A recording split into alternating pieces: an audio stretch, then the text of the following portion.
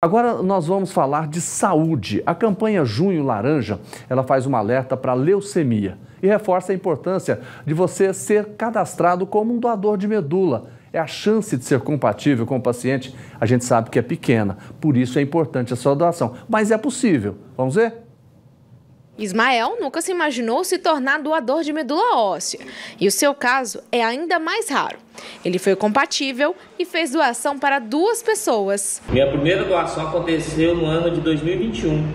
O Redome entrou em contato comigo, é, falando que tinha possibilidade de eu ser compatível com o paciente e me perguntou se eu tinha interesse em fazer a doação, fazer os exames para saber se eu era compatível. Na hora eu falei que sim, que queria ajudar e fiz os exames, deu tudo certo, era compatível e a cirurgia foi realizada na cidade do Recife, no Pernambuco. Na ocasião era para uma criança que, graças a Deus, deu tudo certo, hoje ela está tá curada. A doação de medula é feita para pacientes com leucemia, um tipo de câncer que afeta o sangue.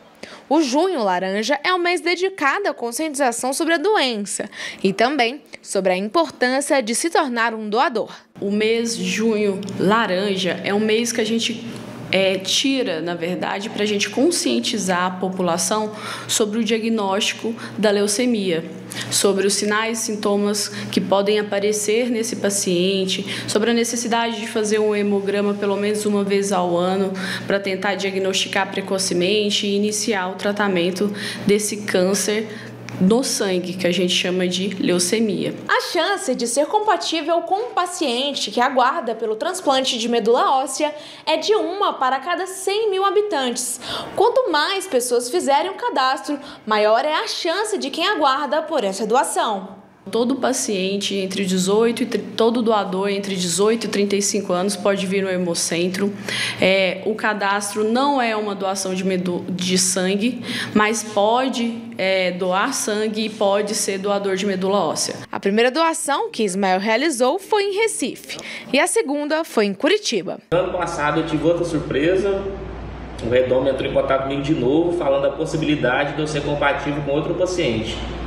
Aí, mais uma vez, eu, com a maior alegria do mundo, já me disponibilizei para fazer todos os exames e, graças a Deus, fui compatível com essa pessoa.